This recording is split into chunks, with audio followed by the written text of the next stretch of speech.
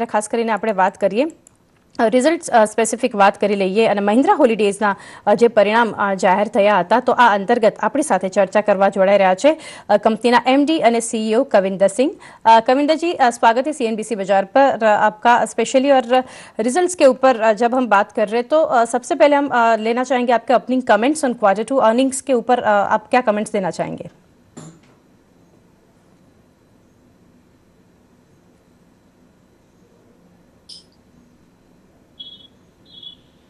जी कविंदर जी आवाज़ आ रही है मेरी?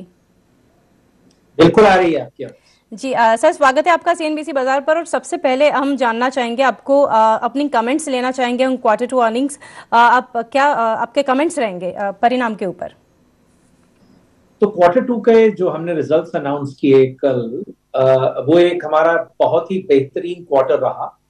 उस क्वार्टर में हमको सबसे बड़ा जो देखने को मिला हमारी इनकम 14 प्रतिशत से बढ़ी। और हमारी रिजॉर्ट इनकम 34 प्रतिशत से बढ़ी। हमारी occupancy 79 percent three versus 73 percent पिछले क्वार्टर सेम टाइम में पिछले ईयर में सेम क्वार्टर में। और उसके चलते हमारी जो रूम नाइट्स थी वो 27 प्रतिशत से बढ़ी और हमको इसका काफ़ी फ़ायदा हुआ। अगर आप हमारे प्रॉफिट्स को भी देखें तो हमारे प्रॉफिट मार्जिन जो है इबिडा मार्जिन 28 प्रतिशत पे बैठे। हमारा पीबीटी मार्जिन 14 प्रतिशत पे बैठा। और अगर हम वन ऑफ़ को एक्सक्लूड कर दें, पिछले साल हमारे हमारे पिछले क्वार्टर में, पिछले साल के क्वार्टर में करीब 15 करोड़ का हमको एक्स्ट्रा इनकम हुई थी क्योंकि लीज रेंट पेवर्स मिले थे और हम लोगों को एक इंटरेस्ट मिला था इनकम टैक्स रिफंड का। तो अगर वो उन सब चीज़ों को मैं हटा दूँ तो हमारा इबिडा 12 प्रतिशत से बढ़ा पीबीटी 5 प्रतिशत से बढ़ा। तो ये हमारा बेस्ट एवर क्वार्टर रहा। एक तरफ़ से अगर इनकम देखूँ इबिटा देखूँ पीबीटी देखूँ मार्जिन को अगर मैं देखूँ, अगर मैं मार्जिन को प्री पैंडमिक लेवल से देखें तो हमारे इबिडा मार्जिन 500 बेसिस पॉइंट्स बढ़े Q2 FY20 जबकि हमने 1100 कमरे बढ़ाए Q2 FY20 से FY23 तक। और हमारे मार्जिन जो थे, ये हमारे पीबीटी मार्जिन 270 बेसिस पॉइंट्स के करीब बढ़े। Against Q2 FY20 pre pandemic तो ये एक बहुत ही बेहतरीन क्वार्टर रहा। हमारे मेंबर एडिशंस भी 4400 के करीब करीब आ गए और हमारे अपग्रेड्स भी डबल हुए और हमारा जो ए है एवरेज यूनिट रियलाइजेशन भी बहुत बड़ा 2.6 लाख से 3.9 लाख तक चला गया।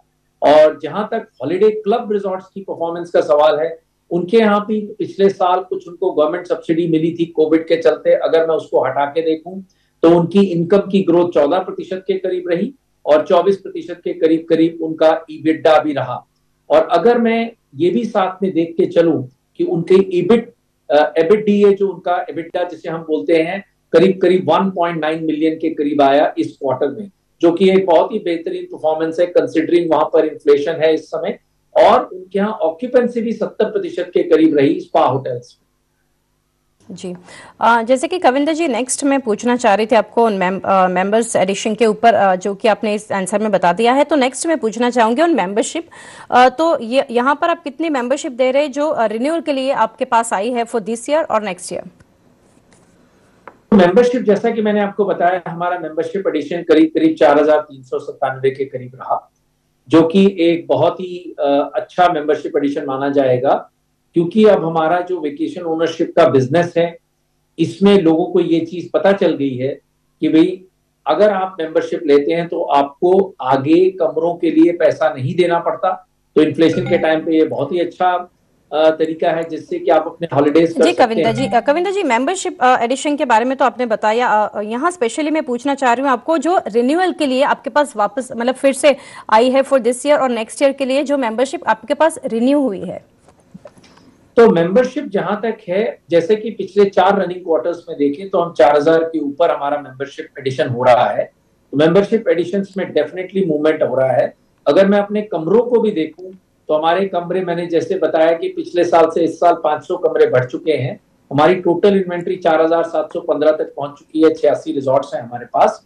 तो ये एक मोमेंटम जो है, वो दिख रहा है हमको। हम कैपिटल इन्वेस्टमेंट करेंगे। 1200 से 1500 करोड़ का 1500 कमरे और बढ़ाएँगे। हमने जो पहले फोरकास्ट दी थी 5500 की, वो हम we are well on track to cover that तो हमारे कमरे भी बढ़ रहे हैं, हमारे मेंबर भी बढ़ रहे हैं, हमारी इनकम भी चौदह पंद्रह प्रतिशत से बढ़ रही है और हमारे प्रॉफिट्स में भी ग्रोथ आ रही है। तो ये एक बहुत बड़ी अच्छी स्टोरी जो है बन के आ रही है हमारे महिंद्रा हॉलीडेज के लिए। बाय द वे अक्टूबर में मैं आपके दर्शकों के लिए बता दूँ, हमारा तिरासी प्रतिशत के करीब अक्टूबर में भी हमारी ऑक्यूपेंसी रही। और ये क्वार्टर हमको लग रहा है कि हम चौरासी पचासी प्रतिशत पे खत्म करेंगे ऑक्यूपेंसी पे। डेफिनेटली और next uh, Kavinder ji inventory uh, addition के बारे में आप क्या कहेंगे? कुछ प्लान है for F Y twenty three जैसे कि हम अभी हम देख रहे हैं total four seven one five के ऊपर है और टारगेट है five thousand five hundred by F Y twenty five जैसे कि आपने uh, बताया था पहले एक इंटरव्यू में। तो यहाँ पर inventory addition plan F Y twenty three के लिए आप क्या दे रहे हैं? तो इन्वेंट्री एडिशन का जहाँ तक सवाल है मैंने आपको जैसे बताया कि हम 4,700 पे पहुँच चुके हैं 200 कमरे हमने ऐड कर दिए हैं। हमने अभी अगर आप देखें तो हमारे 200 कमरों की इजाफा हुआ इस छह महीने में। ऑलरेडी अगर आप ध्यान से देखें तो हम लोग जो है करीब करीब 400 के करीब करीब रूम ऐड कर रहे हैं और वो हमको ट्रैक ट्रैक रिकॉर्ड हमारा बनता जा रहा है। तो हमारे रूम एडिशन में काफ़ी तेज़ी से बढ़ोतरी हो रही है। हमारा एक रूम का एक बहुत बड़ा एक्सपेंशन चल रहा है कंदा घाट प्रोजेक्ट में। एक हमारा गणपति फूले में प्रोजेक्ट है, जिसको कि हम चालू करेंगे, वो भी ढाई करोड़ का इन्वेस्टमेंट होगा। करीब करीब दो सवा दो सौ कमरे होंगे उसमें। और हमारा पुदुचेरी, जो हमारा रिजॉर्ट है, उसका भी एक्सपेंशन का हमारा पूरा प्लान बन चुका है। उसमें भी साठ कमरे हम ऐड करेंगे। और अगर हम देखते चले, हमारे पास लैंड बैंक भी है। और हम लोग लीजिंग भी देख रहे हैं एक्विजिशन भी देख रहे हैं। हमारे पास एक्विजिशन में भी मोमेंटम दिख रहा है कि हमको एक्विजिशन होगी रिजॉर्ट्स की। तो मैं जहाँ तक देखूँ हमारे लिए इन्वेंट्री की पोजीशन काफ़ी अच्छी सुधरती हुई दिख रही है। जी एंड कविंदर जी लास्टली पूछना चाहूँगी ऑन डी मर्जर जो दो बिजनेसेस है कंपनी के एक महिंद्रा हॉलीडेज का और एचसीआरओ उन uh, दोनों का मतलब डी मर्जर के बारे में कभी कंपनी ने कुछ प्लान किया है कभी सोचा है? uh, अगर आप अपना क्वेश्चन दोबारा रिपीट करेंगे तो अच्छा होगा मुझे थोड़ा सा ठीक से सुनाई नहीं पड़ा। Ever considered demerging of two businesses? मतलब एम एच आर एल की बात करें और एच सी आर ओ की बात करें तो कंपनी ने कभी एवर कंसिडर किया है इस चीज़ को?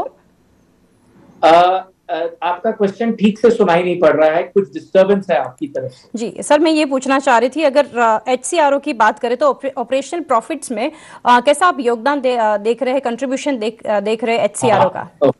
सो हॉलीडे क्लब रिजॉर्ट्स आपका क्वेश्चन हॉलीडे क्लब रिजॉर्ट्स पे है। जी। और हॉलीडे क्लब रिजॉर्ट्स की जहाँ तक मैं परफॉर्मेंस देखूँ मैंने आपको पहले भी बताया कि उनको लास्ट ईयर 2.6 मिलियन का वन ऑफ़ मिला था।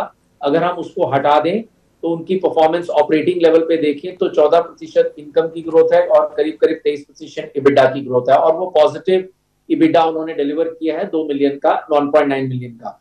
तो हमारा जो फ्यूचर हम देख रहे हैं क्यू और क्यू में और आगे हमको हॉलीडे क्लब का ब्राइट फ्यूचर दिख रहा है, क्योंकि उन्होंने अपनी कॉस्ट बहुत अच्छे से कंट्रोल कर ली है मार्जिन वो अच्छे से मेंटेन कर रहे हैं टाइम शेयर सेल्स उनकी 12 प्रतिशत से बढ़ी 16 प्रतिशत से स्पा होटल की इनकम बढ़ी और टोटल इनकम उनकी 8 प्रतिशत से बढ़ी, अगर हम वन ऑफ़ को इग्नोर करके चले।